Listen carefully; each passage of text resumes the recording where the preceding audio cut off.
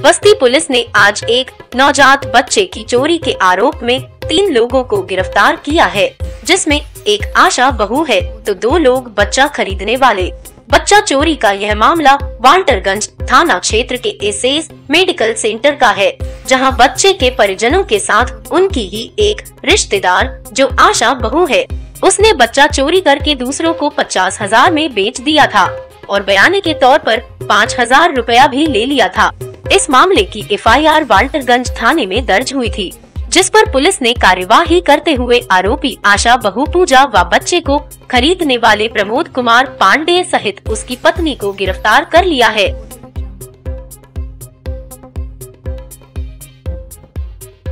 जो मूल रूप से भरवलिया थाना वाल्टरगंज के रहने वाले हैं, इनकी वाइफ को डिलीवरी होनी थी तो इन्होंने अपनी वाइफ को 14 तारीख को रात में 12 बजे एसएस मेडिकल सेंटर में भर्ती कराया था। अगले दिन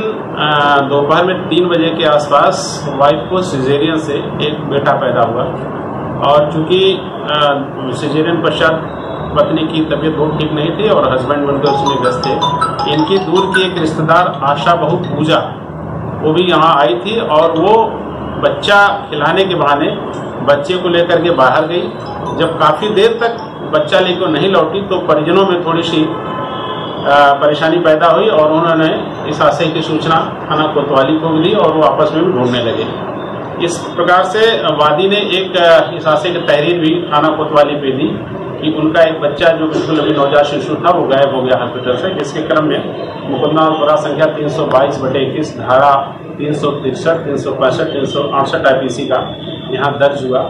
और इंस्पेक्टर कोतवाली और उनकी टीम ने बड़ा सार्थक प्रयास करके इस पूरे घटना को एक चैलेंज के रूप में लिया और पूजा जो आशा बहु उससे जब शक्ति से इन लोगों ने पूछताछ की तो उन्होंने ये बात बताई कि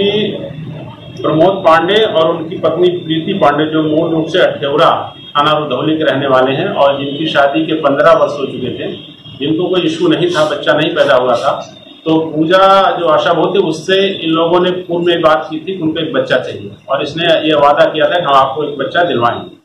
क्योंकि ये प्रमोद झाड़फूक का काम करता था और ये पूजा भी कभी कभी उनके यहाँ जाती थी, इस प्रकार से दोनों की जान पहचान और दोस्ती हो गई थी। पूजा ने इसी अपने वादे को निभाने के लिए जो उनके रिश्तेदार ही थी और जिसको डिलीवरी हुई थी, उसका बच्चा वहाँ से गायब कर दिया और ले जा करके प्रमोद पांडे को दे दिया।